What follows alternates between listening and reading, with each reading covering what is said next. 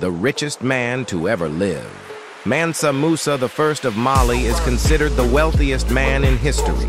His wealth was primarily derived from Mali's vast reserves of gold and salt, which were major commodities at the time. The man was so rich that historians believe that Musa's wealth was nearly incalculable. He spent some of his gold on building marvels, for example, the Djinguereber Mosque. Its walls are made of gold. When he went on his pilgrimage to Mecca, he carried so much gold that he distributed it liberally along the way, leaving streets paved with gold. If you find gold in the street, it probably fell from